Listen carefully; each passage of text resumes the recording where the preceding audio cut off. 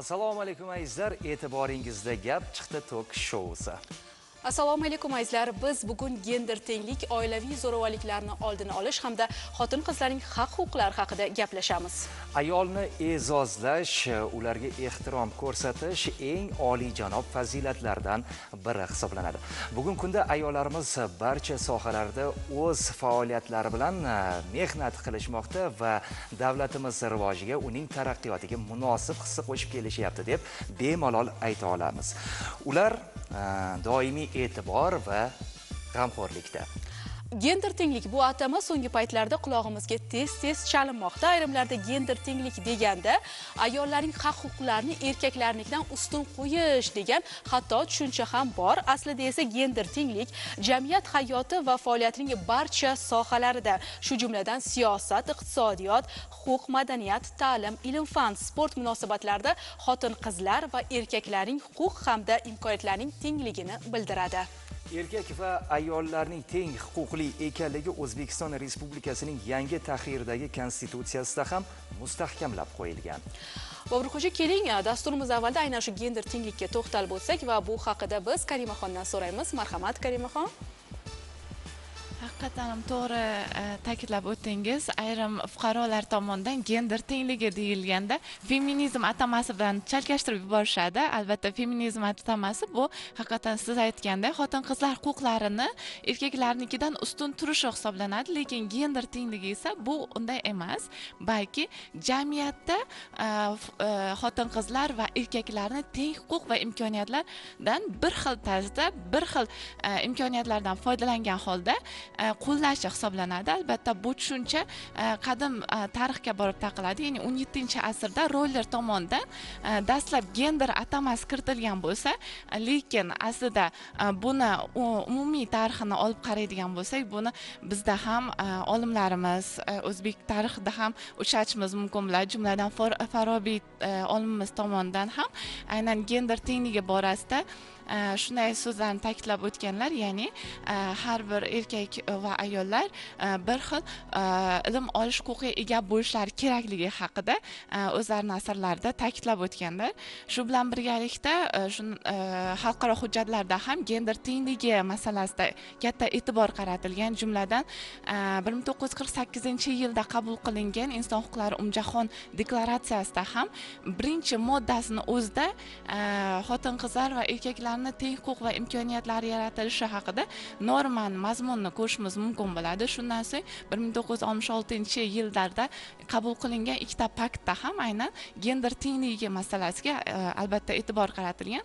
Bizni mamlakatimizda ham gender tengligi borasida bir qator islohotlar amalga oshirilmoqda va bu islohotlar mustaqilligimizni ilk yillarida ham ko'rishimiz mumkin bo'ladi. Nimagaki aynan konstitutsiyamizda ham e, xotin qizlar e, va erkaklar teng huquqliligi o'rnatib qo'yilgan qo'yilgandi shundan so'ng bir qator islohotlar amalga oshirilishi natijasida gender tushunchasiga alohida ta'rif berib o'tildi va bu ta'rif ikki ming o'n sakkizinchi yildagi xotin qizlar va erkaklar huquqlari to'g'risidagi qonunda aynan mustahkamlab qo'yildi.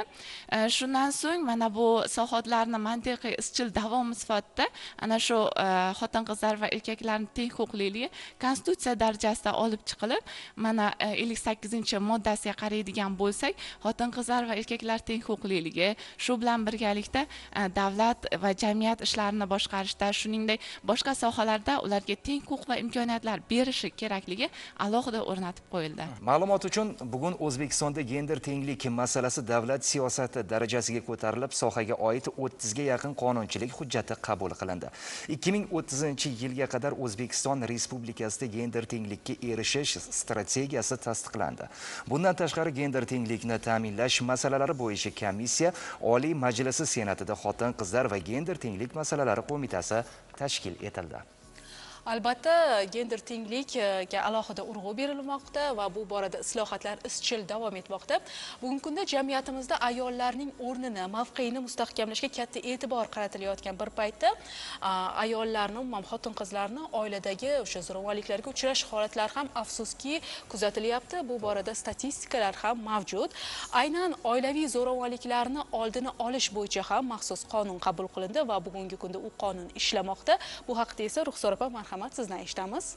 Joriy yilning aprel oyida qabul qilingan eng so'nggi qonunimizda ya'ni sakkiz yuz yigirma to'qqizinchi sonli qonunimizda aynan xotin qizlar va bolalarni eh, huquqlari erkinliklarini himoya qilish borasiga da qilinayotgan ishlarni yanada ham takomillashtirish masalasiga qaratilgan bo'lib mana shu aynan mana shu qonun bilan o'zbekiston respublikasidagi amal qilayotgan bir nechta qonun hujjatlariga jinoyat protsessual kodeksi jinoyat kodeksi va ma'muriy kodeksga o'zgartirishlar kiritildi. Unga binoan bitta misol qilib aytib ketadigan bo'lsam o'zbekiston respublikasi jinoyat kodeksida bir yuz yigirma oltinchi prim bir moddasi joriy qilindi. Unga ko'ra aynan oiladagi zo'ravonlik oilada jismoniy zo'ravonlik oqibatida tan jarohati yetkazilgan shaxsga nisbatan jazo choralari belgilandi.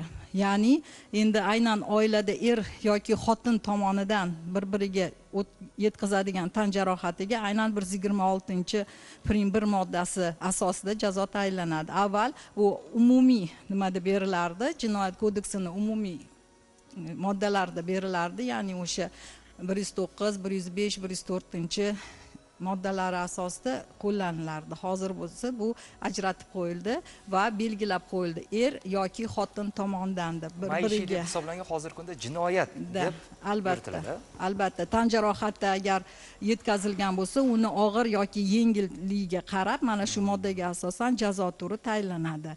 Bundan tashqari o'zbekiston respublikasining ma'muriy javobgarlik to'g'risidagi kodeksga ham ellik to'qqizinchi prim ikki moddasi qo'shildi bu bu ham aynan e, oilada maishiy zo'ravonlik sodir etgan shaxslarga nisbatan jazo choralari belgilash haqida. Bu yerda jarimadan tortib to o'n besh e, sutkagacha ma'muriy qamoq jazosi belgilab qo'yildi. Avval kodeksimizda bu modda yo'q edi.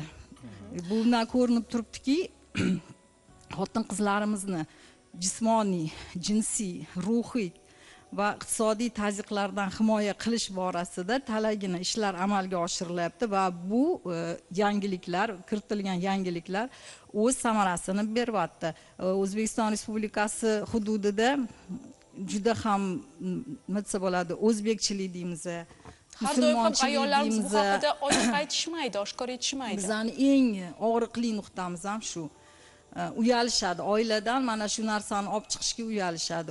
O'zlarini oilalarida tazyiqqa uchrasalar erlar tomonidan qaynota yoki boshqa e, shaxslar tomonidan e, tazyiq va zo'ravonlikka uchragan ayollarimizni bir yuz ikki raqamiga yoki boshqa shaxs boshqa organlarga murojaat qilishmaydi.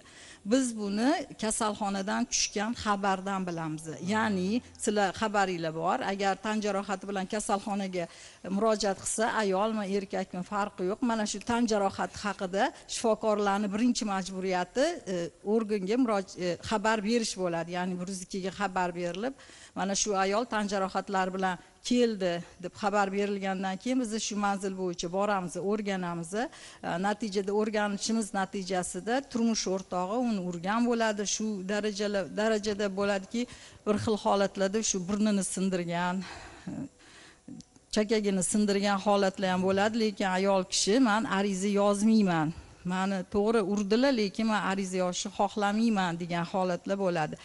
Aynan mana shu yuqorida aytib o'tgan o'zgartirishlar qonunga kiritilgan o'zgartirishlar mana shu jabr ko'rsatgan shaxsga nisbatan jazo chorasi qo'llashga asos bo'ladi. Fuqaro o'zini da'vosini qaytarib olishi mumkin lekin davlat da'vogar bo'lib qoladi jazo muqarrar bo'ladi rahmat aytamiz ma'lumotlar uchun. Endi bugungi kunda er ayolini ursa bu jinoyat hisoblanadi. Ilgari maishiy deb hisoblanadigan oiladagi zo'ravonlik endi jinoyat deb hisoblanadigan bo'lgan. Endi oiladagi e, jismoniy zo'ravonlik jinoiy javobgarlikka tortilinadigan bo'ladi ayollar himoyasi bo'yicha 2019 yilda qabul qilingan qonun bor edi. Lekin unda javobgarlik to'g'risida hech narsa mavjud emasdi. Endilikda esa bu borada ma'muriy ham jinoiy javobgarlik ko'zda tutilyapti. Bilasizmi kamola ba'zi oilalarda ayollarga nisbatan tazyiqlar cheklovlar tahdidlar bor. Buni yashirishning aslo hojati yo'q. Aynan shunday vaziyatlarda nafaqat turmush o'rtoqlar balki ularning oila a'zolari ham to'sqinlik qilishadi. Albatta shunday ma'lumotlar yetib kelgan o'sha bevosita o'sha qaynonasidan o'sha qaynopa qayni singillarni hattoki qaynotasidan ham kaltak yegan kelinlar haqidagi ma'lumotlar bizning statistikamizda bor. Ammo bu haqida har doim ham opa singillarimiz ochiq oshkora aytishmaydi. Uyalishadi o'zbekchilik deyishadi. Oilam eng avvalo ularning nazdida oilasining buzilmasligi birinchi o'rinda turadi. Ana shu tazyiqlarni yashirish to'g'rimi oilam buzilmasin deb? Marhamat bu borada kim fikr bildiradi? Laylo opa. marhamat laylo opa sizlardan eshitamiz. Menimcha oilam buzilmasin deb o'sha zo'ravonlikni yashirish to'g'rimi ayolniki? Assalomu alaykum hammaga. Kelibsiz? Men e, bu yashirishni to'g'ri deb hisoblayman. Chunki bizni e, elimiz qadimdan e, oiladagi muammoni hattoki qo'shniga bildirmay kelganda mana opamiz aytyaptilar hozir ko'pchilik ayollar bildirmaydi yoki bilib biz bilib qolsak ham e, arizani qaytib olishadi. Men o'sha ayollarga rahmat degan bo'lardim. Chunki har qanday e, nima deydi talashmagan odam har qanaqa dinimizda ham qadrlangan elimizni orasida ham qadrlangan. Talashib tortishish janjal bu hech qachon yaxshilikka olib kelmaydi. Lekin qonunlarimizni shunchalik ayollarni himoya qilib insonlarni yanada sergakka sergaklikka chorlagan qonunlarimiz chiqarilgani uchun minnatdormiz. Men butun o'zbek xalqi nomidan minnatdorlik bildiraman lekin voy shunaqa ekanda deb eri ozgincha ovozini ko'tarsa ham yoki ozgina bir biri bilan sal tortishib qolsa ham e, oddiy gap boru qars ikki qo'ldan chiqadi deydi. Endi bilmaymiz u yerda erkakdan tashqari ayolda ham ayb bo'lishi mumkin yoki mayli ayol farishta bo'lsa ham o'sha erini kechirsa olloh uni bir kun e, mukofotlaydida biz olloh tanigan xalqmiz shuning uchun men o'ylayman e, yashirgani qaysidir ma'noda to'g'ri deyamoqchi ha to'g'ri yashirgani. Chunki men so'nggi paytda so'nggi paytda judayam e, ijtimoiy tarmoqlarda men xalqimizni ayrim qismlari shu tortinmasdan hatto e, bir paytlar qo'shnisiga bildirmagan yoki shunday qizlar bo'lgan borib onasiga dardini aytmagan elni ajdod avlodlarimizda biz. Lekin so'nggi paytda shunday bir muammo bo'lsa ijtimoiy tarmoqlarga chiqib yig'lab menga mana bunaqa tazyiq o'tkazildi yoki man bu qaynonam bunaqa xo'rladiyu erim yoki hukumat tomonidan men hech qachon bunaqa o'zini dardini oshkor qilgan insonni hech qachon hozir siz fikrlaringizni aytyapsiz lekin e, tashrif buyurgan mehmonlarimiz orasida go'yoki meni nazarimda E'tiroz karimaxon e'tiroz bildiradigandek tuyulyaptilar. Keling fikrlariga quloq tutib ko'ramiz balkim sizni fikrlaringizga qarshi chiqish niyatidadirlar bir narsani haqiqatdan ham bir stereotip sifatida aytdilar ya'ni e, he- hech bir ayol uydagi muammosini olib chiqmasligi kerak uni zo'ravonlikka uchrashsa ham qandaydir e, yengil tan jarohat bilan o'rta tan jarohat даже og'ir e, tan jarohatigacha bo'lsa ham oshkor qilmasligi kerakligi haqida aytib o'tdilar lekin bu fikrga umuman qo'shilmayman. Keling undan avval fikringizni bildirishingizdan avval o'zingizdan oilaviy hayotdan savol beraman turmush qurganmisiz? Ha qurganman. Turmush qurganman. Farzandlarim hozircha yo'q lekin oilaviy tortishuvlar deyarli bo'lmaydi. Chunki bir birimizni tushunamiz masalan qandaydir muammolar bo'lishi mumkin lekin hamma muammoni birgalikda hal qilishga harakat qilamiz. Biron marta bir birimizga nisbatan ishonchsizlik bo'lmagan. Oilada urush janjal bo'lmasligiga asosiy sabab balkim sizni haq huquqlaringizni yaxshi bilishingizdan emasmikan yuristlar har holda to'g'ri? Shunday bo'lishi ham mumkin. Haq huquqim ya'ni har bir borasida ayol siz kabi o'z haq huquqlarini bilishsa oilada bunday mojarolar urush janjallar bo'lmas balkim? Haq huquqimni talab qilish borasida oilada hech qanday muammo bo'lmagan. Haq huquqimni talab qilmaganman. Chunki bu bo'yicha umuman muammolar ham kelib chiqmagan. Aytyapman Asos hozir ham bo'lmagan. asos bo'lmagan. Lekin baribir tazyiqqa uchrasa ayol kishi xabar berish kerak. Ha to'g'rimi xabar berish kerak. Deb hisoblaysiz. haq masalan huquq qachon e, ro'yobga keladi? Qachonki undan foydalanilsa? Mana o'tkazyapmiz deyapmiz e, islohotlar amalga oshirilyapti deyapmiz. Lekin e, bu islohotlar shunchaki qog'ozda qolib ketyapti deyapti. Ba'zilar lekin bu qog'ozda qolayotgani yo'q. Qachonki undan foydalansakgina qog'ozda qolmaydi. Qachonki uni amalda qo'llasakkina e, qog'ozda qolmay balki hayotga tatbiq etiladi. Agar biz ana shu stereotiplar bilan doimo birga yashasak bu doimo ana shu muammomiz bo'lib qolaveradi. Masalan gender tengligi borasida aytaylik.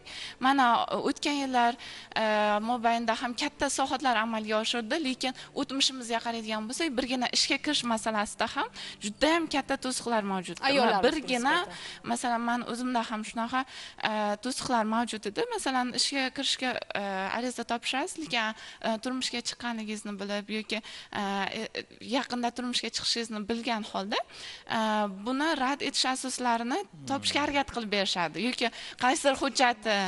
Mikrofonga Mikrofonga yaqinroq gapirasiz ha. Ishga kirmoqchi bo'lgan tashkilotda yoshsan ertaga dekretga chiqasan biza sani endi ishni boshlayotganingda deb o'shanga nima bu tomondan lekin bu yerda oilaviy zo'ravonlik shu nimani nimasida erkak kishi ayolini yo'q ko'chaga chiqmaysan. Man boqamanmi boqmaymanmi yaxshi yediramanmi ichirmaymanmi? Bo'ldi san o'tirasan degan narsani e'tiborga olish kerak. U korxona tashkilot u ishga olishingizdagi yosh bo'lganingiz va dekretga chiqishingiz ertaga eng yaxshi nima mutaxassis bo'lib ishlab kelayotganingizda yana ikki yil uch yilga o'sha sohadan chiqib ketishingiz va ularni ishi to'xtab qolishi uchun sizga yosh mutaxassis sifatida etishligi mumkin lekin bu zo'ravonlikka kirmaydi yo'q yo'q xotin qizlar o'sha yo'q huquqlarida ham baribir tushuntirib mayli man o'zim ishlayman. Ko'p sohada shunaqa bo'ldiki o'sha chaqalog'i tug'ilgandan keyin ozgina paytdan keyin bolasini yaxshilab onasiga nimaga berib ya'ni dono opa aytmoqchilarki mavzudan yiroqlashmagan holda mavzudan chiqish kerak emas chunki bu yerda biza xotin qizlarni huquqlari va oilaviy zo'ravonlikka gapirishimiz kerak. Oilaviy zo'ravonlikka kelib chiqish asosini o'rganishimiz kerak. Endi to'g'ri agarda ursa uraversa ertaga nogiron bo'lsa man mahallaga mana shu bitta ikkita janjal bo'lganda shunaqa bo'ldiki to'ppa to'g'ri o'yga kirib bordim. Endi shunaqa ozgina xarakterda bilasizlarku huquqshunos bo'lgandan keyin hech narsadan qo'rqmay o'zi. G'irt mas xotin hammayoq ko'kargan keyin yoniga o'tirdimda qani boshingni bitta ko'ray dedim. Nima qilasiz deydi "E, o't butingdan shoxing chiqqanmikin bitta ko'ray dedim. Ertaga nima qilmoqchisan? Bu sani faqat sani xotining emas bu sani bolalaringni onasi.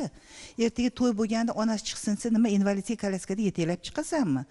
Ko'ryapsizmi? Mana shu to'g'ri ichki ishlarda ham iloji boricha haligi e, jinoyatchilikni mana shunaqani bosdi bosdi qilishadi statistika yaxshi bo'lishi uchun. Mahallaga chiqadigan bo'lsa ham chida biza ham chidaganmiz biza ham kalta yeb o'lmaganmiz shundan boshlashadi. O'sha taklif qilingan mahalladagi yarashtiruvchi komissiyasini hoji onasi bormi hoji otasi bormi hammasini bitta gapi biz ham qo'lda kir yuvganmiz salla hozir hamma narsa tayyor. Lekin hozirgi kunni sharoiti bo'yicha ham gaplashishni bilishimiz kerak. O'shandan keyin yoniga o'tirib gaplashgandan keyin kelinposhsha boshiga bitta achu choy damlab keling deb yoniga olib birpas gaplashgandan keyin aytamanda bu sani o'ylab ko'rgin bu sani xotining va lekin bu sani bolalaringni onasi mana nima uchun bilan o'ylardi. Hech qanaqangi nizo chiqmasligi mumkin. Yigitlarimiz o'ylanayotganda kimga o'ylanishi kerak? Bo'lajak onaga o'ylanadi. O'sha ona keyin bolalariga yaxshi tarbiya berishi bilimi berishi uchun o'ylanadi. Ikkita ziyoli bo'lgandan keyin u yerda haligi mayda chuyda gaplar chiqmaydi chunki bular ziyoli bularni ongi butunlay boshqacha. A mana bu oilaviy nima nimadagi zo'ravonlikdagi mani eng katta yuragimdagi dardim. Bu qizlarni yosh turmushga uzatib yuborishadi. Erkak erta turmush hayotga tayyor emas. Na ovqat qilishni bilmaydi na suhbatlashishni bilmaydi na insonni xarakteri bo'yicha qaynona qaynataga qanaqa munosabat qilishni bilishmaydi. Psixologiyada mana psixologlar o'tiribdi. To'g'ri to'rtta to'rtta nimadagi inson bor har xil xarakterli xoleriklar bor. U bilan qanaqa munosabatda bo'lish kerak? A bu yosh bola bo'lsa hech narsani bilmasa qaynota baqirganda voydod deb yig'lasa unaqangi xolerik odamlar battar bo'ladida. Haligi o'sha paytda ho'p adajon deb o'zidan ozgina haligi shirin so'zni qilsa tushunyapsizmi oilaviy zo'ravonlikni kelib chiqish asosini o'rganishimiz kerak. Eng katta muammo shunda.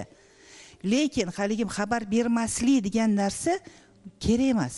Xabar kerak berish kerak. Chunki opa o'zi shundoq ham ajralishlar ko'pda. hamma e'lon qilaversa dardini yo'q borib chunki birinchi marta bilmasdan turib bitta urib qo'ysa keyin jonim asalim ke qo'y unaqa bunaqa desa kelin bechora indamaydi ikkinchi martasida qattiqroq uradigan bo'lsa ke salim ke va yur o'tib o'tga oqarlan anu ruslarda gap borku дальше больше qarasaki hech qanaqangi javobgarlik bo'lmayapti. Qarasaki hech kim bu bilan suhbat qilmayapti.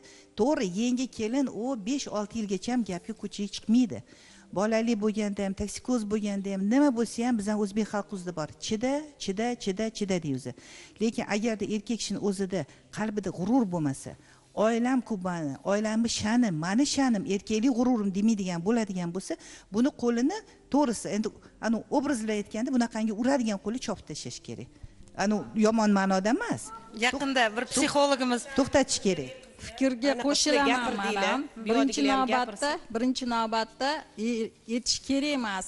Borib bu narsa haqida xabar berish kerak emas degan fikrga umuman qo'shilmayman. Shunaqa oilalar borki yillar davomida zo'ravonlik tazyiqi o'sha tan jarohati olib yashab kelgan oilalar bor. Biza bu oila haqida xabar topganimizda judayam oilani muhiti buzilib ketgan bo'ladi qiyin bo'ladi. Psixologlarimiz ham hozir aytilgandek ota onalarimiz ham yordam berishi judayam qiyin bo'lib qoladi. Bilasizmi nimaga? Chunki bu oilada azaldan boshlangan bu narsa. Ya'ni otasi mana shu kuyovni otasi onasiga shunaqa tazyiq o'tkazib ketgan o'tkazib yurgan paytlar bo'lgan. Yoki ichkilikka berilgan kuyovlarimizni oladigan bo'lsak uni otasi ichkilikka berilgan bo'lgan. Shu pastdan bizni bu yarani davolab chiqishimiz kerak. Tazyiq va zo'ravonlik qanaqa oilalarda bo'ladi? Birinchi navbatda o'sha moddiy kamchilik bo'lgan oilada bo'ladi to'g'rimi? Ya'ni er yoki xotin ishlamasdan o'sha e, topganiga nima qilib o'tirgan boyishni xohlamasa yoki o'zini sharoitini bundan ham yaxshilashni xohlamasa er yoki xotinni bu asabiga tegadi nimaga ishlamayapsiz deydi nimaga pul topmayapsiz bolalarimizni o'qitishimiz kerak deydi. Shundan boshlanadi kuch ishlatishgacha boradi. Ikkinchi sabab ichkilik yoki giyohvandlikka berilgan oilalar. Mana shu qaysi oilada ichkilik yoki giyohvandlikka berilgan ayol yoki erkak bo'lsa bu oilada tinchlik bo'lmaydi. Bular xabar berish kerak. Loaqal o'sha giyohvand yoki o'sha ichkilikka berilgan odamni davolashimiz uchun xabar berish kerak. Shundan biza xabar topsak uni o'sha narkologik dispanserga joylashtirishga yoki boshqa davolash usullarini qo'llashga biza o'zimizda sabab topamiz. Yoki o'sha ishlamayotgan shaxslarga biz ish topib beramiz. Hozir mahalla beshligi bor hammani xabari bor mahallada beshlik bekorga o'tirgani yo'q. Uyma uy yuramiz. Biz hammamiz baravar yuramizki o'sha muammo kelib chiqqan oiladagi qanaqa nima sabab bo'lsa o'sha sababni yo'qotishga harakat qilamiz. Ya'ni ishsizlik bo'lsa ish topib beramiz kasal bo'lsa kasalni davolashga harakat qilamiz. Ba'zi bir tibbiy yordam kerak bo'ladi o'sha tibbiy yordamni ko'rsatamiz. Mana shu narsalarni olib tashlash uchun ham mana shu narsani davolash uchun sababini yo'q qilish uchun ham xabar berishi kerak ayol kishi uyda tazyiq va zo'ravonlik sodir etilayotgan e, vaqtda xabar berishi shart shart emas. Bir yuz ikkiga qilib rasman hamma yoqqa e'lon qilib aytishi mahallaga chiqsa bo'ldi. Mahallada inspektorlar mahallada rais yoki xotin qizlar faoli hammamizni taniydi biza inspektorlarni tanishadi. Telefon raqamlarimiz bor. Bir zumda yetib kelamiz mana shu oilani yig'ib e, yoki uyiga borib chora ko'ramiz shart emas unga jazo berish shtraf qilish yoki bir e, o'n besh sutkaga qamashimiz shart emas erkak kishini ayol kishiga himoya orderi berganimizni o'zi ham judayam katta ta'sir chorasini hozir Laylo opa aytayotgan gaplari bunday vaziyatlarda uydagi mojaroni ayol kishi tashqariga olib chiqadigan bo'lsa ajrim soni ko'payib ortib ketmasmikin degan maqsadda aynan ushbu savolga Ajrim- savol tariqasida murojaat qildilar. Keling, Nodir aka sizni fikringizga Yoshli tutamiz. erkalanib Studiyada erkaklar ham o'tirishdi. Ularning bugungi Mana- mavzu mana shu borasida ajrim bo'yicha fikrlari qanday ekan? Hozir bir minut. Ajrim bo'yicha haqiqatdan ham mana shu sudlar tomonidan mahallaga berish qaysi qonun hujjati ko'rsatilgan. Biza shunaqa bizada qaysi qonun hujjati ko'rsatilganini bilishimiz shart. Mahallaga jo'natilinadi yarashtirish komissiyasida ko'rib chiqish uchun. Lekin undan oldin raisni o'zi domlanimi otinoyini chaqiradida alohida suhbat o'tkazadi. Bu birdaniga hammaga nima qilinmaydi. U yerda ham xohlasa xohlamasa ular psixolog bo'lib ketishgan. O'sha oiladagi ichki bizada o'zbekchilik bor. Ertaga qizimni uzatsam sovchilikka borsam o'g'lim o'ynatirsam o'yimni surishtirib kelishsa degan bizadagi andisha o'sha zo'ravonlikka zo'rayib ketishini oldini olishimiz uchun to'siq bo'lib turadigan narsa bo'lgan yillar davomida. O'yindagi narsani ko'chaga olib chiqma onangga aytma onang dili yarimta bo'ladi unga aytma bunga aytma ana o'shaning uchun ham mahallada o'sha ajrimdan oldin mahallada ko'rib chiqishdan oldin o'sha otinoyi domla bilan gaplashgani o'zida ham haligi yigit dunyoqarashi o'zgaradi. Yosh oilaga tayyorlashdan oldin ham mana zak- e, bir oylik kurslari bor. O'shanda albatta domla albatta otinoyi albatta psixolog albatta huquqshunos dars berishadi. Va shuni jarayonida o'sha savol javoblar bilan sekin sekin yigitlarni ongini tarbiyalanadi. O'yda ko'rmagan tarbiyani o'yda ko'rmagan holatini baribir biladiki bu oila muqaddas man erkakman mani oriyatim mani oilamni sha'nini himoya qilish degan. Shu narsa shu tushuncha yo'q ko'pchilikda. Yo'q. O'zini oilasini o'zini o'yini islohotxonaga aylantirib qo'yishadi. Ko'chadan to'rtta erkakni olib keladida yosh qizi bor yosh haligi nimasi bor kelini bor ularga ovqat tashib yurish kerak edi. O'sha yerda yetti yot bu mahram nomahram degan tushuncha ham yo'q bunaqa odamlarda. Ichkilikni ichsa arog'ini ichsa man erkakman man man man desa bo'ldi.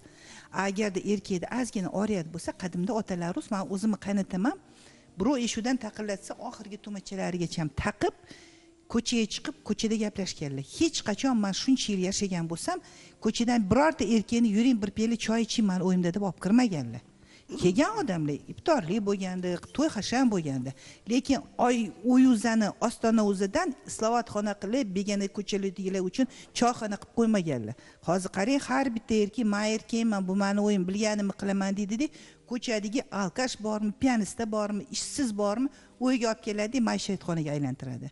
Mana mana shunaqalarni oldini olish uchun ham mahallaga olib chiqish kerak. Lekin men bir tanishim bilamanda yigirma uch yoshida. Oila qurdilar oliy ma'lumotli. E, turmush o'rtoqlari ham oliy ma'lumotli. Keyin yigirma uch yoshida yigirma to'rt yoshigacha o'sha qo'l ko'targan boshqa qilgan orqaga tashladilar orqaga tashladilar keyin oxiri endi keyin aytib beryaptilar. O'shangacha bilmaganmiz. Keyin yigirma to'rt yoshda o'g'il farzandli bo'ldilar. Keyin e, bir kuni judayam o'ta darajada boya aytganlaridek hammayoqlarni ko'kartirgan boshqa judayam ahvol yomon bo'lgandan keyin u ayol bermadilar baribir farzandimni otasi deb qaynona bergan militsiyaga. Balkim e, aqli kirar balkim boshqa qo'lim e, qo'lini tekkizmas qizimni bunaqa xo'rlamas dedi. Bo'ldi shu bilan o'sha yerda hammasi militsiyani xonasidan yarash yarash bo'lib chiqib ketishdi. Lekin u erkak u ayoldan e, bo'ldi e, qaynona ham aytdi erkakni ota onasi ota onalar aytdiki bu seni militsiyaxonaga yetaklab borgan ayol senga vafodor bu yog'iga xotinlik qilolmaydi deyishdida boshqa bir juvonni olib berishdi bu Oila buzilib bir o'zi qolib ketdilar. Butun umr o'sha bir o'g'il bilan o'tyaptilar. Xo'p, endi mana bunaqa shu misollar juda ko'p chidash kerak edida u to nogiron qilgunicha to uni urib o'ldirguncha. Yo ajraladigan inson baribir bir kun ajralar ekan lekin anu suymaganga ona yo'q. sabab bo'lib qoldi. O'sha qizni yana balkim bir kun yaxshi bo'lib Yana ketar bitta Bu yodiga ham ko'p gap hozir. ajrimga ajrimga faqat tazyiq va zo'ravonlik sabab bo'lmayapti. Erkaklarimiz boshqa ayollar bilan yurib ketayotgani xiyonat qilayotgani yoki ayollarimizni boshqa erkak bilan yurib ketayotgani shu ham sabab bo'lyapti. U tazyiq zo'ravonlik yoki o'sha kalta yegani uchun ajrimga borish judayam kam holat. Bu tuzatsa bo'ladigan bor lekin bor. Bor lekin ajrimga boshqa sabablar ko'proq sabab bo'lyapti. avvalambor assalomu alaykum. Biza mana xotin qizlarda ishlagan e, period o'sha paytlarimizda e, Э, ayollarni haq huquqlarini himoya qilish darajasida biza anonimna э, anonimni ichki holatda kelinni chaqirardik. Э, mana kelin rais buyo tarafdan shu xo'jayini shu beshtalik nima otinoyi shu besh kishi gaplashadi xotin qizlar o'tirib gaplashib o'sha nimani oilani siri to'rt devor bekitish kerakda tashqariga chiqib ketish kerak emas. Hozirgi kelinlar arzimagan yo'q narsalarga janjal chiqaryapti oilasini va hamma sirini olib chiqyapti. Bu judayam e, noto'g'ri deb o'ylayman. Hozirgi kunda e, opalarimiz aytgandek qizlarimizga e, o'sha kerakli kurslar ham ochilgan. Hozir harakatlar o'sha tarbiyalash bo'yicha harakatlar ketyapti. Abror aka marhamat. Mavzu yuzasidan fikrlar. Tazyiqni oila zo'ravonlik qarangki shunaqa bir oilalarni bilamiz farzand ayniqsa qiz bola gulda endi bu? Shunaqa bir avaylab asrab shunaqangi erkalab katta qilamizda boshqa oila borgandan keyin tazyiqqa uchrash. Qanchalik og'ir narsa. Hattoki qizlarni uzatishga qo'rqamiz. Men o'zim ikkita mana ikkita qiz uzatganman ikkinchisini uzatishim kerak. Yo'q qizim baxti yaxshi hammasini lekin ba'zi oilalarga oila bilan ishlayman men doim. Oila bilan ishlaganmanda o'rganamiz. Mana dono bilan bizlar oila maktablarida juda ko'p yurdik. O'sha oila maktablarida ertalab boshlagan maktabda kech soat beshgacha sababi bu shunaqangi bolalar suhbatlashishni xohlaydi. Shunaqangi savol javob lekin afsuski ozgina susaytirib qo'ydik. Bu ham kech. Bolalar qachonki haligi maktab yoshidan emas boshidan boshlab oilaga tayyorlashni men o'ylaymanki juda erta boshlashimiz kerak. O'g'il bolalarni tayyorlashimiz kerak qiz bolalarni tayyorlashimiz kerak. Chunki qiz bolani urish gunoh ekanligini bu qur'oni karimda yozilgan ayol kishiga qo'l ko'tarib bo'lmaydi. Mumkin qur'onda yozilganki qo'l ko'tarish mumkin emas. Nega qo'l ko'tarishadi? Qanaqa qizga qo'l ko'tarish mumkin? Ayol no- u bola u ayol bolalarni onasiku ertaga bu- kelgusi bo'lgusi ona deymiz. Lekin bu maktabda emas oilada emas qachonki turmushga chiqqandan keyin shu holatda. Mana ichki xodim o'tiribdi eng sizlarda og'riq nuqta oilaviy mojarolar. Oilaviy mojarolar juda ayniqsa men toshkentda o'yladimki poytaxt bu yerda oila juda baxtli saodatli lekin ichiga kirib ba'zi oilalarni ko'rib ichingdan o'kinamanki u bor deyman. Poytaxtda shu ahvol bo'lsa lekin e, ko'proq ko'proq poytaxtdagi nimaga viloyatlarda mehnatdan mashg'ul hamma ish bilan mashg'ul e, dalaga ishlashadi charchab kelishadi yana uy yumush ishlari bilan ovora bo'ladi bola boqish bilan oradida haligi Urush janjal- janjalga vaqt yo'q janjalga vaqt bo'lmaydi. Lekin bu yerda o'ylayman ko'proq noqobil oilalarda ichkilikka berilgan oilalarda narkoman lekin narkoman deymiz bu narkotiklar qayerdan kelyapti? Qayerdan o'zi oila boqishga puli yo'q lekin narkotikka pul topadi. Qayerdan topyapti? O'g'irlik qilyaptimi? Yo boshqa ishlar qilyaptimi? Jinoyat qilyaptimi? Jinoyatga qo'l uryaptimi lekin bularni qachonki? Afsuski shu ishni qilgandan keyin biz bilib qolamiz. Bu ko'chaga chiqmaydi deymizku ko'chaga chiqarish albatta bunaqa oylarda ular chiqarmas ekan. Ularni biz o'zimiz xabar topib borishimiz kerak o'zimiz kirib borishimiz kerak o'zimiz o'rganishimiz kerak. Lekin bir narsaki birdan komissiyaga berib donobonim to'g'ri aytdingiz haligi komissiyaga berilmayapti. Oldin o'sha yerda oqsoqol lekin bitta achinarli narsa bor aytib qo'yay bu ham nima? Mana masalan opalarim turmushga chiqqan akalarim uylangan. Qishlog'imizda shunaqangi bir oilada birinchi o'rinda yaqin qarindoshlar kelib nasihat berishadi ey insof belga tortishadiki uyat bo'ladi. Bu yaxshi gaplar bilan chiroyli shirin gaplar bilan oilani bir bir murosaga keltirishardi. Ko'chaga chiqmaslik iltimos. Ularni o'zi tartibga solib qo'yishardi. Bugun ozgina achinarli narsa qarindosh urug'lar befarq bo'lib qoldi. Hozir bugungi mavzu borasida abror aka yurist sifatida emas qizlarni voyaga yetkazib uzatayotgan sifatida ota sifatida sizni fikrlaringizga quloq tutdik. Hozir keling. O'g'illarni voyaga yetkazayotgan yana bir ota borlar. Nodir aka marhamat bu qonun erkaklarimizni hushyorlikka chorlarmikan endi ular o'sha mushtumzo'rlikni yig'ishtirishadi nima deb o'ylaysiz rahmat avvalambor assalomu alaykum. Man hozir fikrlarni eshitdim. Haqiqatdan juda yaxshi chiroyli fikrlar hayotdan olingan fikrlar amalda tadbiq qilinayotgan fikr- fikrlar lekin mani fikrim agar mani qizim bo'lsa qizim kuyovidan aytganini qilgin deyman. Mani fikrimni aytyapman tan bu hammaga bir shaxsiy fikringizni bildiryapsiz? Endi xotinga qattiq turishi kerak. Bu onam bu otam va uni ko'ngliga qarab to'g'ri bir bitta qiz bitta hovliga borgandan ko'ra nima qiladi ko'nikish qiyin bo'ladi adaptatsionniy period deymiz. Lekin ba'zi bir oilalarda ko'ryapmiz bizga o'zimizga ham murojaat kelyapti o'sha kuni anavi nima zo'r tvda tursak kelibdi chiqib tursak e bizda mana bunaqa bo'lyapti kelinim aytganimni qilmayapti ko'ryapsizmi qanaqa darajagacha kelinlarni erkalab qo'ydik? Qattiq tursin qizim bo'lsa aytaman man. Qizim kuyovimni aytganini qilgin deyman yig'lab kelma o'liging o'shikdan chiqsin. Nima uchun? Qo'pol qilib aytganda qay ma'noda? O'shda tosh qotgan yo'q man endi bu narsani majoziy ma'noda aytyapmanki tosh qotgan o'shda kuyovim bilan birga bo'lgan. Biz erkaklar qachon ko'chada bemalol yuramiz? Oshlarga boramiz. Qizimiz tinch bo'lsa bemalol yuramiz. Kuyovimiz aytganini qilib. Ba'zi bir erkaklar ba'zi bir oilalarda shunaqa bo'lyapti. Ha qizim nima qilyapti qizi yig'lab kelsa qani nima qilyapsan? Qizini yonini oladi. Haqiqiy ota kuyovi ursa barakalla deydi. Qattiq turgin deydi. Chunki ota qizini kamchiligini kechirasiz. Qizini kamchiligini qiziga qanday xotini tarbiya bergan ota biladi. Shuni ham tushungan holda oxirida aytadiki kuyov qattiq turaver qizimga deydi. Kuyovim san yaxshisan qizim san erkatoysan desa qiz qayerqa boradi. Man ba'zi bir hollarda aytyapman to'g'ri hamma oilada sharoit bir xil emas. Lekin ba'zi bir hollarda hayronman kecha kelibdi bitta qaynana. Kelibdida man qaynonamni aytganini qilmayman man nimaga manga ta'ziq o'tkazasiz man kiyimini yuvmayman man faqat erimga tekkanman deyapti. Erkalatib yubormadingmi kechirasiz mana o'zinglarga shunaqa fikrlar aytyapsizlarda hurmatli opalar mana buvilar o'tiribdida kelininglar shunaqa qilib tursa siz nima qilasiz? Gender tengligi deymiz boshqa bu erkalatib yubormayapmizmi onalarni o'zini tarbiyalash kerak. marhamat umida opa siz mana bevosita ayollar bilan ishlaysiz ayniqsa tazyiqqa uchragan zo'ravonlikka uchragan ayollar bilan ularni dardini eshitasiz. Bildirilgan fikrlarga assalomu munosabatingiz alaykum. Aa, nodir aka man sizni gapingizga qo'shilmayman. Birinchi navbatda albatta mm, oila muhiti juda yam muhim. Bu yerga man qo'shilaman mana oila maktabini yoshlar maktabini tashkil etish to'g'risidagi gap. Yoshlarni o'qitishimiz kerak u psixologiya bilimini islom dinini oila oila qadriyatlarini oilada erkak va ayol majburiyatlarini qanchalik ular tan oladi va shunga tayyormi ular oilada albatta erkak kishini gapi gap. Albatta bizani erkaklarimiz bizani toji taxtimiz. Da va ayollar oilani muhitini yaratuvchi insonlar. Lekin ular shuni biladimi mukammal? Ular aynan oila qurayotganda er va xotin o'rtasidagi munosabatlarni qaynona kelin munosabatlarini ovsinlar bilan munosabatlarni to'g'ri tuzishni bilisharmikin? Ularni oilada onalar shuni o'rgatadimi?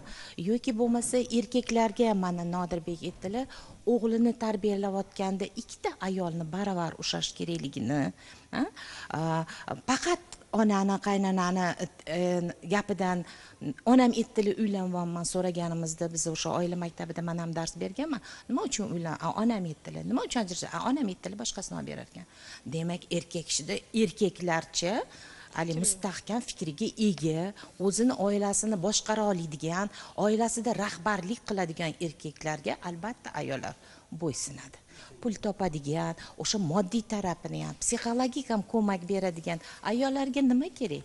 Ko'p narsa kerak emas. Shirin gap shirin so'z. Jonim bugun nima yeymiz? Bo'ldi. Ayollar jonini fido qiladi. Sevgan insoni uchun.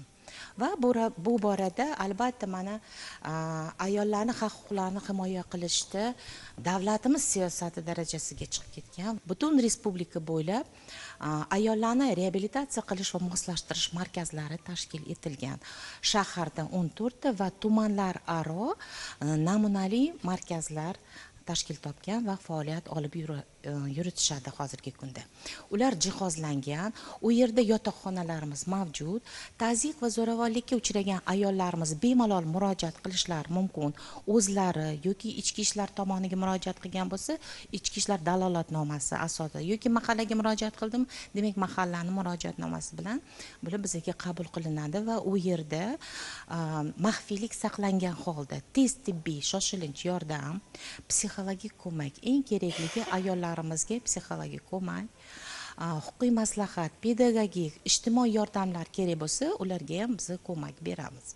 Qancha muddat o'sha reabilitatsiya markazlarida reabilitatsiya markazlarida bir oygacha bizada muddat qo'yilgan shartnoma asosida lekin mana hozirgi kunda o'sha agarda ijtimoiy og'ir ahvollari bo'lsa uy joylari sharoitlari og'ir bo'lsa demak o'sha muammosiga qarab uzaytirilishi mumkin muddati u yerda tekin ovqat tekin xizmatlar ko'rsatiladi va u yerda farzandlar bilan birgalikda qabul qilinadi sharoitlarimiz judayam chiroyli juda yaxshi sharoitlar yaratilgan. Rahmat. Man Dora umid opa, opadan bitta narsa so'ramoqchi edim. Umid opa mana shuncha sa'y harakatlarni как spetsialist sifatida amalga oshirgansizlar qancha oilani saqlashga ya'ni effekti buni natijasi samarasini berganlar bo'ldimi? Mana shu qiziq. Mana endi boshida yana aytib qo'ymoqchi edim. Qaranglarda bizada mana raislar o'tiribdi mahalla mutaxassislari o'tiribdi. Biza oddiy maishiy janjaldan urush janjaldan tazyiq muntazam o'tkazilayotgan tazyiqdan ajratib olishimiz kerak. Bo'ladi hammani oilada urush janjalda kelishmovchilik olib bermadingiz tufli olib bermadingiz e, bir kaltak yeb qoladi ayol. Lekin muntazam ravishda mana nikohlanuvchilar maktabida уже nikohlanuvchilardan siz bilasiz. Kuyov bola уже taqiq qo'yyaptimi ishlamaysan telefon tutmaysan uyingga bormaysan ketyaptim bo'yanmaysan o'ranasan degan narsa уже odam xavotirga tushishi kerak. Chunki a, tazyiq bu sikl aylanib kuchayib yana sevgi muhabbat yana urush janjal yanada haligi a, juda vahshiylarcha olib agar keladi ishlamaysan kechirasiz umida opa gapingizni bo'ldim ishlamaysan degan bo'lsa mas'uliyatni bo'yniga olgan holda man boshqa ma'noda aytdim. Ishlamaysan Chiqmaysan, desa sharoit yaratib beraman. Bemalol erkak kishilarimiz agar moddiy tarafdan hamma yoni uy joy masalasi qilib qo'ysa jon deb o'tiraman mana uyda. Bolani hozir tarbiyasida basseynlarga borib o'qishlarga olib borib bolalarni kimga bu mana hozir shu kunda bitta masala bo'ldi. bir og'iz e, nima qilib aytib o'taman. bitta oila e, akasini ayollari de yoshgina yigitimiz aytyaptilar akasini ayollari okam deydi hamma narsani qilib qo'ygan okamni yonini olyaptilar demang opa? Sizga maslahat dedilar. Xullas o'sha uyda hayot hamma narsa chiroyli lekin bir narsalardan kelin bahona qilar ekanlar keyinlari uyga borar ekanlar janjal to'polonlik qilib ani kimdir e, moshina haydagan bo'lsa o'shanaqalarni bir narsalar qilib ish qilib janjal chiqartiradigan kelin ekan uyga borgandan keyin endi u yoqda erkak kishi yo'q ekan. Doim man aytamanki oilada erkak bo'lsa erkak ustun bo'lsa o'sha oila oila bo'ladi deymanda doim. Bu hayotda bo'lib kelgan narsa. Borgandan keyin ukasi anaqa mana bu glazokdan qarab masalan kelganini bilsa opasini nimaga keldingiz? deb so'rar ekan birinchi. Bilar ekanda уже oyog'ingiz sinadimi o'ligingiz chiqadimi bu yoqqa qaytib kelmangdir ekan unaqa urkalte surkalte yo'q to'polon yo'q. Bu постоянный o'sha to'polon chiqarib mana shunaqa qilar ekanda mana Erkalik mana oila hozir chiroyli bo'lib saqlanib nima qilib ketdi opa? Mana shunaqa nimalarni ham olib chiqsanglar bo'lar ekan ko'rsatuvlaringlarda. Har xil nimalar qilib demak ayollarni ortiqcha erkalatish kerak emas ortiqcha yo'q yo'q. Ayol kishi yaxshi joyda ishlab toparmon tutarmon bo'lganda uni eri qarasa ishga bormasa ham bo'ladi. Oilasi to'q ro'zg'or butun. Xotinga ozgina qattiq o'tirsa yaxshilab bir ikkita musht tushirsa ro'zg'orga hamma narsa yetib kelaveradi. Deb borib borib shu oilaviy zo'ravonlik bu oila uchun bu erkak uchun e, manba bo'lib qoladi. Uradi so'kadi nima qilsa qiladida xotin ishga ketgandan keyin butun mahallasida o'ziga o'xshagan ishsiz bekorchilarni olib kelib kechgacha maishat aysh ishrat ular ham nima deydi? Voy baraka topgin zo'rsan de zo'rsan de san haqiqiy erkaksan deydi ayol shu paytda hech qachon o'zini himoya qila olmas edi. Chunki oldingi mana shu o'zgartirish kirg'azguncha agarda sohada ishlaydiganlar buni ayniqsa mana shu e, nima e, ichki ishlar mana shunaqa sohada ishlaydiganlar juda yam yaxshi biladi. Agarda eri qamalib qolsa akasi qamalib qolsa darrov u ishdan ketar edi. Lekin hozir yigirma sakkizinchi moddasiga berilgan g bandi bo'yicha oila a'zosi qamalganda ularni qarindosh urug'iga buni ta'siri bo'lmaydi. Buni judayam katta reklama tarixida deb nima tarzda aytishingiz mumkin. Sotsial anaqalar bo'ldi roliklar bo'ldi. Ichki ishlarda ishlaganni adasi qamalib qolganda darrov o'zi ketdi bittasi aytdiki mani okam ham ketganda man ham sohadan ketdim dedi. Lekin o'sha yerda tergov jarayonini o'zida ham sohadagi aka ukalari hammasi ketishi kerak edi oldingi nima bo'yicha. Hozir bo'lsa hattoki qamalgan bo'lsa ham demak o'sha oila a'zolari. Oilaviy zo'ravonlik qildingmi erkak kishi bo'lib xotinim mani boqsin man ko'chadagi o'rtoqlarimni ham boqsin deb urib urib nima qilganda ayol kishi majbur edi jimiydi qamalsa menga ham qamalsa manga. Mayli qamalsa-ku bunga lekin uni keyin uni farzandiga ham bu ta'sir qilardi. Butun oila oliy ma'lumotli bo'lib bolam bolam deb kelayotgan ayol shu bolasi uchun o'zini kelajagi uchun shu narsaga chidashi kerak edi. Va bu haligi oilaviy zo'ravon bo'lib alfons bo'lgan erkaklar uchun maza edi. Mana endi bu o'sha qonun bo'yicha berilayotgan bitta eng kerakligi endi mana hozir mana bular to'g'ri aytdilar o'zbekchilik dedi mentalitet ko'chaga chiqmasin. Lekin hozirgi mani xizmatimda mana man bu- bizada ishonch telefoni bor. Ko'pincha telefon qilishganda man birinchi bo'lib so'raymanda siz mani telefonimni qayerdan oldingiz? opa man internetdan oldim deydi qarangki bu qashqadaryo surxondaryo ma- termiz manga hozir butun respublika bo'yicha telefon qilishyapti man birinchi bo'lib aytamanki o'zingizni huquqingizni bilib telefon qilganingiz birinchi qo'ygan qadamingiz siz uchun judayam mas'uliyatli ekanligingizni ko'rsatib turibdi deyman. Yig'lab telefon qilishadi. Oxiri suhbatlashib man ularga qonuniy yo'l yo'rig'ini ko'rsatganimdan keyin opa bizani darduzan eshitadigan ham bor ekanku deydi. Chunki mana bular to'g'ri aytyaptilar. Andisha onamga aytsam onam kasal bo'ladi mahallaga chiqsam hamma keyin bigiz qilib qo'l bilan ko'rsatadi. Voy ertaga yarashib ketgandan keyin voy ikki yil oldin yuruvdiku ko'chada ko'zini yoshini oqizib deyishadi degan andishadan qo'rqib aytolmaydigan gapini mana biz hozir bizga telefonda aytishyapti.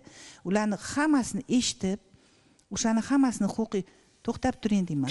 Sizni qaynotangiz qanaqa kim qaysi sohada ishlagan qaynonangiz qaysi sohada ishlagan qaynota yaxshi joyda ishlagan ko'chaga chiqib bilganini qilgan o'yi kelib xotinni urgan bola shu sharoitda katta bo'lgan. Oila muqaddasligi oilada onani bolalarni himoya qilish boqish degan tushuncha bo'lmagan bunda. Ana shundan keyin ular bilan suhbatlangan haqiqatdan himoya orderi juda katta yordam beryapti. Himoya orderida man ko'pincha даже hattoki aytdimda mana shu e, qancha muddatga berilmoqda hozirda bir yilgacha bir yilgacha. Himoya orderi o'zbekiston respublikasi qonuni bo'yicha bir oy muddatga beriladi. Ichki ishlar organlari tomonidan lekin yangi chiqqan o'sha sakkiz yuz yigirma to'qqizinchi sonli qonunga asosan sud tomonidan himoya orderini amal qilish muddati bir yilgacha uzaytirilishi mumkin. Ya'ni o'sha bir oy davomida ayol kishi o'sha o'ziga nisbatan tazyiq va zo'ravonlik davom etayotganini his qilsa tugashiga uch kun qolganda muddat tugashiga uch kun qolganda ichki ishlar organlariga ariza bilan murojaat qiladi. Profilaktika inspektorlari tomonidan uni arizasi rasmiylashtirilib ma'muriy sudga olib chiqiladi va sudya tomonidan bir yil muddatga cho'zib beriladi va bu haqida tegishli qaror chiqarib o'sha ikki tomonga e'lon qilinadi. Hozir e, himoya orderini ta'siri haqida gapirib o'tdilar. Bu fikrni davom ettirishim E, ettirish uchun toshkent shahrini oladigan bo'lsak toshkent shahrida bir yarim milliongadan ortiq ayollar istiqomat qilishadi. Olti oy davomida bir ming bir yuz ellik sakkizta himoya orderi rasmiylashtirildi. Bu himoya orderlari mana shu tazyiqlarni to'rtta turi bo'yicha ya'ni jismoniy tazyiq bo'yicha jinsiy tazyiq bo'yicha ruhiy tazyiq bo'yicha va iqtisodiy tazyiq bo'yicha rasmiylashtirilgan bo'lib ular o'zini samarasini ko'rsatib kelmoqda. Rahmat aytamiz hozir vaqtimiz ham chegaralangan fikr bildirmaganlar marhamat dilrabo opa sizda qanaqa fikr bor mavzu yuzasidan qisqa aniq fikrlarga o'tamiz gender tenglik masalasida qaytmoqchiman gender tenglik masalasida avvalambor oilada zo'ravonlik erkak kishini ayolni huquqini sanilmasligi jamiyatda ham uchrab turadi shunday holatlar ayollar o'z huquq va imkoniyatlaridan to'liq foydalana olmaydilar shuning uchun davlatimiz tomonidan besh yuz oltmish ikkinchi sonli qonun e, ishlab chiqildi. Bundan tashqari mehnat qonunchiligiga ham o'zgartirishlar kiritildi. Konstitutsiyamizga o'zgartirishlar kiritildi. Masalan mehnat kodeksining ikki yuz yetmish yettinchi moddasida e, ijtimoiy e, ta'tillarga ayollarga faqat o'n ikki yoshga to'lgan farzandlar ikki yoki undan ortiq o'n ikki yoshli farzandlari bor ayollarga E, ikki kunlik mehnat ta'tili qo'shimcha berilardi. Bu yerda e, ota va onalarga deb e, qo'shimchalar kiritildi. Bundan tashqari mulkiy masalalarda ham ko'pincha meros masalasida ko'proq bizani o'zbekchiligimizda meros o'g'il bolaga qoldiriladi. Qizlar roziman deb qo'l qo'yiladi meros aslida qiz bolani ham erkak bilan o'g'il bilan teng huquqiga ega o'sha merosga egalik qilish huquqiga. Yuqoridagi misollar keltirgan keltirganlaringizda bitta fikrimni bildirmoqchiman. Chiroyli kelinlik qilish uchun qiz bola o'sha ro'zg'orda ota ona namuna bo'lishi kerak birinchi o'rinda. Qattiqqo'llik faqat bu yerda yolg'onni ko'paytiradi. Qiz bola yolg'on gapiradigan bo'ladi masalan qaynona tomonidan a, zo'ravonlik bo'lsa yo o'g'il tomonidan zo'ravonlik bo'lsa qo'rqqanidan yolg'on gapiradi qo'rqqanidan yolg'on gapiradi. Buning uchun chiroyli tarbiyani berish kerak ketguncha qiz bolani yaxshi tushuncha berish kerakki o'sha zo'ravonlikka duch kelmasin. Bundan tashqari biz o'ylashimiz kerak faqat xotin qizlar emas bu yerda chidab yashashdan farzandlarimiz e, aziyat chekishi mumkin shuning uchun e, o'z huquqiy ongini o'stirish kerak qizlarni ham yigitlarni ham. Rahmat To'g'ri mavzu qisqa fikrlar bo'lsa muxlisa opa tadbirkorman dizaynerman. Mahalladagi kelinlarni ayollarni ish bilan ta'minlaganmiz band ular qilganmiz. oilaviy muammolarni ham oilaviy muammosini eshitaman. Xohlasangiz xohlamaysiz eshitasiz. Tazyiqlar bor zo'ravonliklar bor. Ular boya aytganimizdek o'zlarini aytisholmaydi. Oilaviy sha'nini o'ylab aytisholmaydi uyalishadi uyalishadi o'zlarini haqqini himoya aslida aytish kerak deb hisoblaysizmi yoki yo'q? Aytish kerak. Ba'zi joylarda o'zini haqqini himoya qilish kerak. Mhm. marhamat. Siz? Man ham shu fikrdaman. Avvalambor assalomu alaykum hozir man bu oilaviy kelishmovchilik nima deb o'ylayman? Erkak kishi haqiqatda uyda hokim nima bo'lsa erkaklik o'rnini bilsa hech qachon ajrimlar bo'lmaydi deb o'ylayman. Erkaklar ishlash kerak. Hozir bizda ko'proq ayollar ishlayaptida erkaklar uyda o'tiribdi. Ayoldan juda ko'p narsani talab qilib yuborishyapti. Ayol zaifa u уже ko'tarolmay qolyaptida. Shuning uchun man o'ylardimki oldingidek erkaklar ishlasa ayollar uyda qizlarga chiroyli taomlar muomala qaynanaga qanaqa muomala erga qanaqa muomala shuni o'rgatsa man o'ylaymanki ajrimlar bo'lmas edi.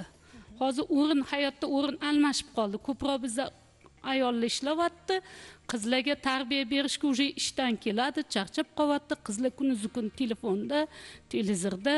Man- buzilgan demoqchisiz. ha buzilgan deb o'ylayman. Mani fikrim shu. Umid opa marhamat xulosa o'rnida fikrlaringiz? O'sha gender tenglik masalalari yoshlikdan bolalarimizga o'rgatib kelinsa oilada masalan a, ishdan kelamiz uy to's to'polon kim gap eshitadi? Qiz bola eshitadi. Qiz bola o'g'il bola eshitmaydi gapni u yuraverish kerak ekan deb bilib oladi. Bu oila bu uy kimniki? Bizaniki. Birgalikda e, mana shu uyga xizmat qilishimiz kerak. O'sha yoshlikdan o'g'il bolalarimizga mehnat qilishga o'sha qiz bolani qadrlashga hurmat qilishga o'sha bizni tarbiyani o'sha bolalikdan boshlasak gender tenglikni bu hayotda keyinchalik o'sha oilani mustahkamligiga olib keladi deb o'ylayman rahmat aytamiz shu o'rinda man bir narsani qo'shimcha qilib o'tib ketmoqchi edim. Toshkent shahar ichki ishlar bosh boshqarmasi tomonidan siz himoyadasiz telegram kanal tashkil etilgan bo'lib uni bot kanali ham bor. Izlashga telegram kanaldan berib siz himoyadasiz yozuvlarni yozilsa mana shu kanal chiqadi. Bemalol shunga ulanib o'zlarini savollari bilan yoki muammolari bilan murojaat qilishlari mumkin. Bu anonim tarzda bu hamma narsa hal bo'ladi. Ochilim xulosa sifatida hurmatli erkaklar oilada juda haligi qattiqqo'llik qilmasdan ayollarimizni sevaylik va ayollarimizga hurmatda bo'laylik. Chunki bizni ham orqamizda singlimiz bor va qizimiz bor. Ertaga avval pichog'i o'zimizga o'raylik og'rimasa boshqasiga o'raylik. Rahmat bildirilgan fikrlar uchun. Hurmatli ayollar siz va yaqinlaringizga yordam kerak bo'lsa oilaviy zo'ravonlik yoki tazyiq tahdidlarga uchrasangiz respublika va hududlardagi ayollarni reabilitatsiya qilish va moslashtirish respublika markazlarining barcha hududlarda faoliyat yurituvchi 11 46 qisqa raqamlariga murojaat qiling. Oila tinch bo'lsa mahalla el yurt tinch bo'ladi. Qachonki oilada sog'lom muhit bo'lsa unda tarbiyalanayotgan bolalar ruhan sog'lom bo'ladi. Azizlar bu gap chiqdi tok shousi edi yana yangi mavzular muhokamasida ko'rishguncha xayr. Omon bo'ling. Hammaga rahmat. Rahmat